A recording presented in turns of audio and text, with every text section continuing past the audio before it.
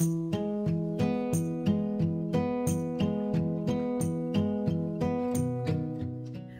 welcome to Patina Lane. Today we're going to start a new series on WoodUbend. And for those of you that don't know anything about it, I'm going to show you the principle. This is the greatest product that's ever been invented. I wish I had invented it myself. It is a wood product that comes hard. It's an applique, appliques that we can use to apply to our furniture, especially plain pieces that need a lot, a lot more pop, or as I use it often, to salvage a piece. And today I'm going to be working on a broke a mirror that fell off the wall in my hallway at home. And it was one of my favorite little mirrors. And we're going to salvage it and repair it with WoodUbend. Now, as you can see, WoodUbend comes hard. This is drillable. You can treat it just like wood, although it is more delicate than wood. You got to keep that in mind. It is, when it's in its cold state, breakable. So you got to remember that. But in its warm state, when you heat it up, it is bendable and cuttable. You can drill it, you can paint it, you can stain it, you can do anything you want to this stuff. It's a greatest project. And today we're going to do a mirror repair. Well, as you can see, take a closer look at this. Here is the project that I'm going. The mirror fell off the wall. I got two nice big cracks over here, a big one here, and I even knocked out a piece here, which I never found the piece. I have no idea where it went, so it must have flown. So today we're going to take this WoodUbend. Now, I heat my WoodUbend up on a griddle. You can also use a heat gun, or you can use a very hot hair dryer. If your hair dryer has a good hot setting, in, in other words, it's almost too hot. If you put it on your face, it would burn. That will be hot enough, as long as the pieces aren't too thick.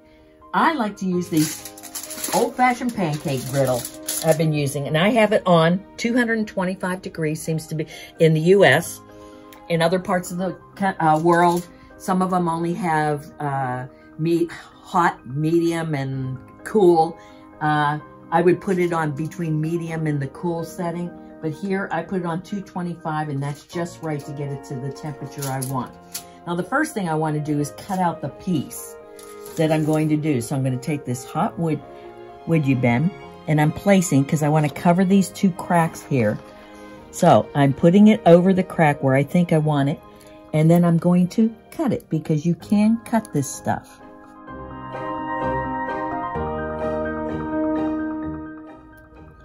It's easier to cut this while it's hot, obviously.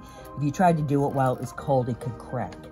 So, I've got it in here and it's bendable. You can see I can make it bend a little bit if I need to change the position because I'm really trying to cover those two cracks.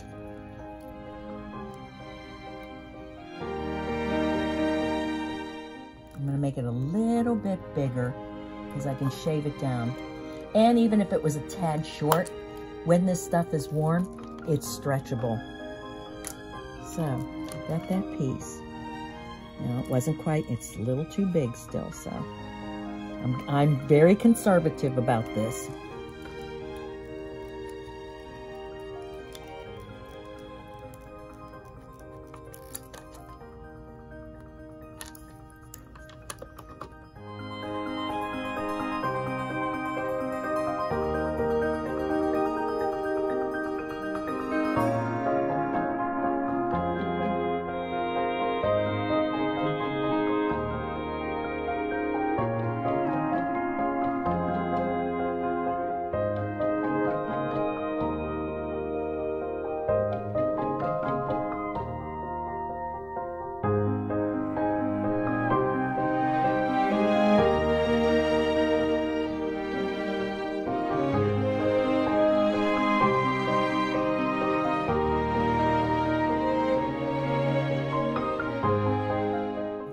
So what I've done is I've got a major problem here because I have a big chunk broken out of here. So what I'm doing then is I'm going to put this piece in here like this and let it overlap on top of that piece like that. And we got to get it glued down just like this. Okay? So let's, we're going to heat it up. What I do is leave it on there. Let's get it nice and warm so it's flexible.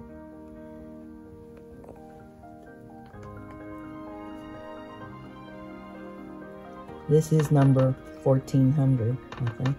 Isn't it?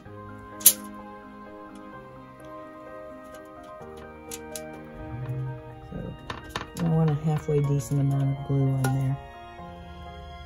And I'm going to have to probably hold it in place for a few seconds. I get one shot to put this on because I'm going on glass and I'm trying not to make a mess with glue on the glass, although I can always scrape the glue off. Okay. Take that piece.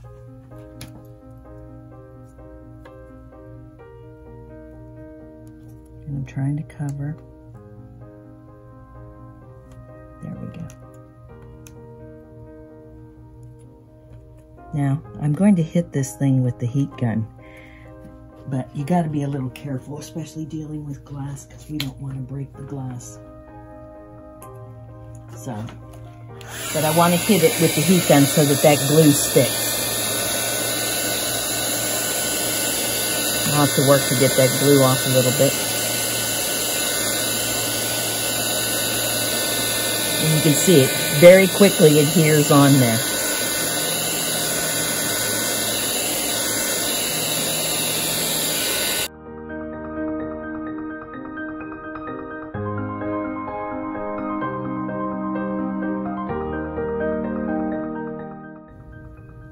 Of course, I'm using Titebond. This is Super Titebond. Uh, bond. You have to use a wood glue when you're attaching these things. Other glues will not work. They'll pop off. Gotta use wood glue.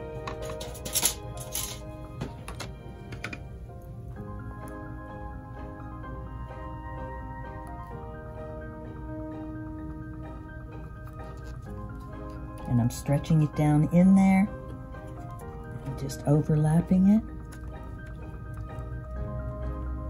And come back and hit it with the heat gun so it adheres. Now I've covered that spot that's missing. And you can stretch it into there. Whoops.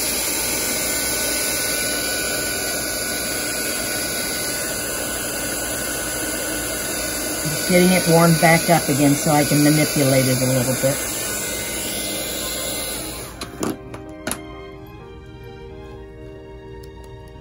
Piece straight there, straight here. Hold it down for a couple seconds.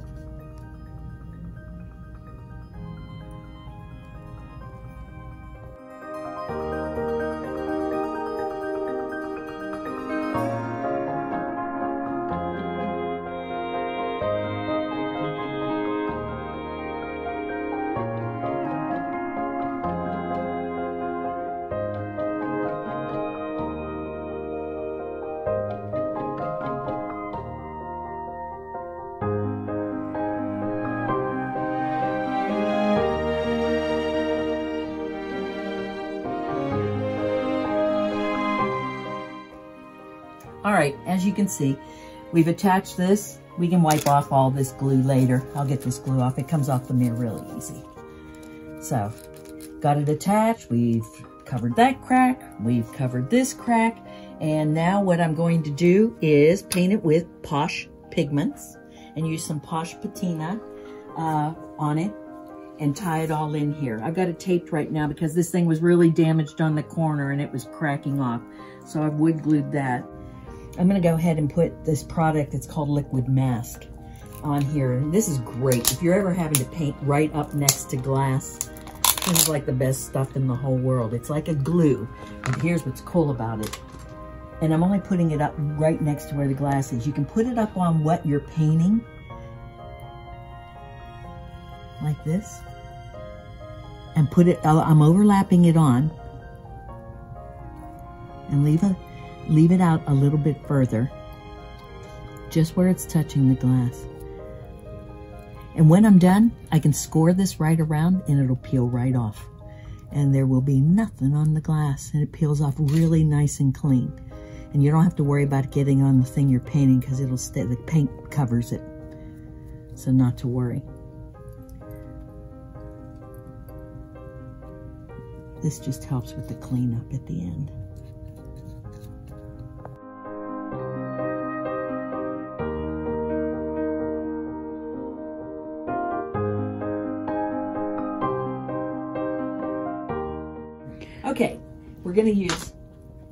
Posh Pigments.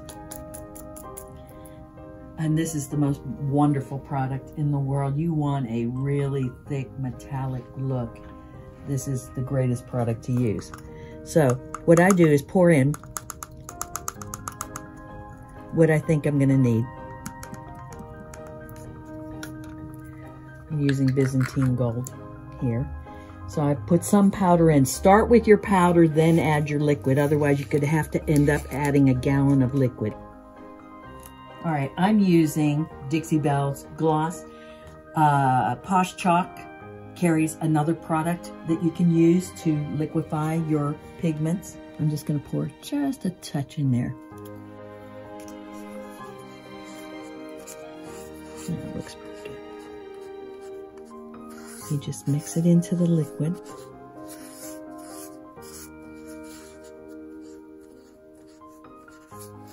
Make sure you get all that powder in there.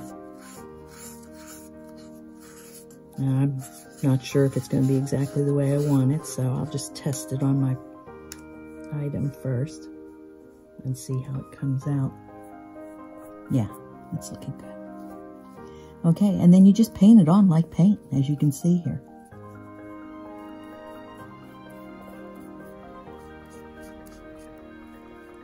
Okay.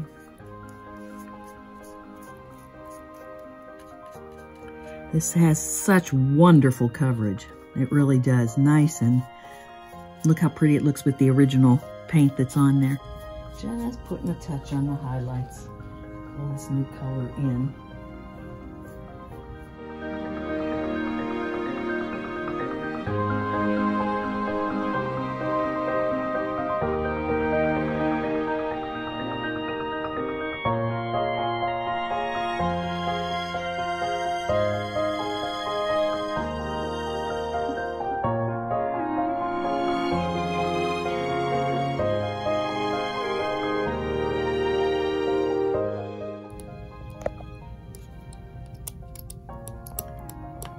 Get it started. And then you just grab it and it just peels back off off the glass. All nice and clean. It's easier on a straight edge, obviously. Like if you're doing a china cabinet or something, see how that just lifts up. I'll probably go along here and touch up some too. All right, well, we'll be back when I get all this painted on and we'll do the next step after this.